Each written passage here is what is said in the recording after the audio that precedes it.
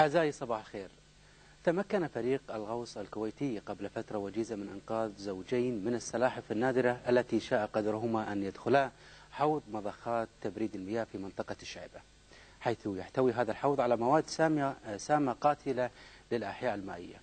وكان لفريق الغوص الكويتي البادرة الطيبة في إنجاز هذين الزوجين من حوض هذا الحوض الذي ذكرناه قبل قليل. وكان لها الأثر كبير في إشادة كبيرة من المنظمات البيئية العالمية بدور الكويت في المحافظة على البيئة وكائناتها. حول هذا الموضوع يسعدنا أن نستضيف أحد أعضاء الفريق المشارك في هذه العملية السيد وليد الفاضل.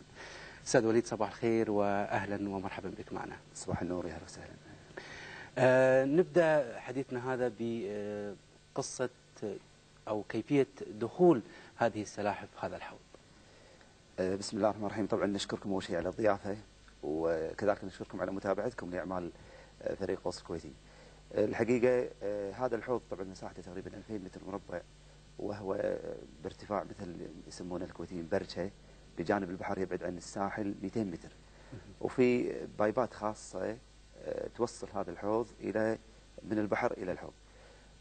طبعا بطريقة بطريقة مثل ما يقولون يعني لأسباب فنية دخلت هالسحلفتين إلى داخل البيبات اللي طولها 200 متر وتفاجئوا الناس اللي تشتغل في المحطات إن هناك زوجين من السلاحف قاعد تطفو في الحوض اللي نسبة الكلور فيه الماي واحد والكلور ثلاثة وطبعا هذا يعتبر يعني هم متعمدين حاطين هذا أساس يقتلون كل الاحياء المائية أو الطحالب على أساس يعني إن الماء يصل إلى المكاين نظيف ونقي. وكان صعوبة استخراج السلاحف وكذلك صعوبة ردة السلاحف مرة أخرى إلى البحر لأن الحوض مستوى أنزل من البحر. وطبعا يعني مشي الماء يكون طبعا لا شك أنه أقوى. ففعلا كانت مشكلة كبيرة كيف إخراج السلاحف في هذا الموقع. نعم. ومن هي الجهة التي قامت بتكليف الفريق لإنجاز هذه المهمة؟ الحقيقة جانا اتصال هاتفي عاجل من الإخوان في مجلس حماية البيئة. وطبعا مجلس حماية البيئة هي أكبر سلطة في البلد مهتمة وتراقب الوضع البيئي في الكويت. وفعلا بعد الاتصال على طول يعني باشرنا في آه هذا العمل. عشان كذي يعني الاتصال أصلا كان جاي من مجلس حماية البيئة في الكويت هنا. وكان تجاوبه جدا سريع في هذه العملية. نعم. أستاذ وليد كيف كانت ردة فعل الفريق بهذا التكليف؟ هو الحقيقة كان بالنسبة للفريق يعني عمل جديد. إحنا اشتهر عملنا إن ننقذ أو نقوم بانتشال الزوارق واليخوت وقمنا في عمليات إنقاذ حتى لناس غرقه لكن إن ننقذ يعني حيوانات أو كائنات كان بالنسبة لنا شيء جديد.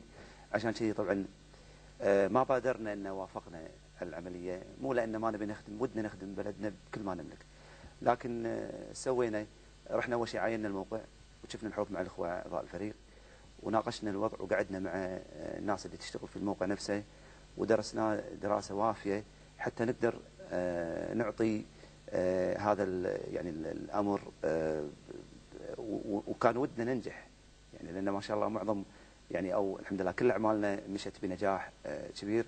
ودنا نكمل هالنجاحات حتى نستمر في العطاء الجيد. هذا يمكن كانت بداية ردة فعل الفريق أول ما سمعنا هذا الأمر. نعم. أعتقد أستاذ وليد هناك مشاهد مصاحبة لهذا الحديث حول عملية إنقاذ هذا الجوز من السلاحف. نشاهد الآن هذه المشاهد حبذا لو تعلق عليها.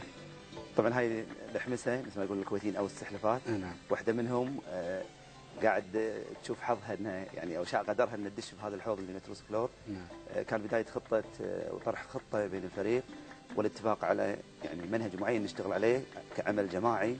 كل الشباب متطوعين طبعا ولا واحد وظيفته هذه. فلا بد أن نناقش خطة باستفاضة حتى نتم في الامر. أنزلنا زوارق خاصة لهذه العملية. طبعا الحوض فيه خطورة زوارق عادية لازم زوارق يعني تطفو. وتشوف شغل الشباب ما شاء الله. طبعا هاي الكريات خاصة بإنزال الزوارق وكانت بداية العملية ومخاطرها. وتشوفون التيارات المائية الموجودة وايد قوية. يصعب إن عملية الغوص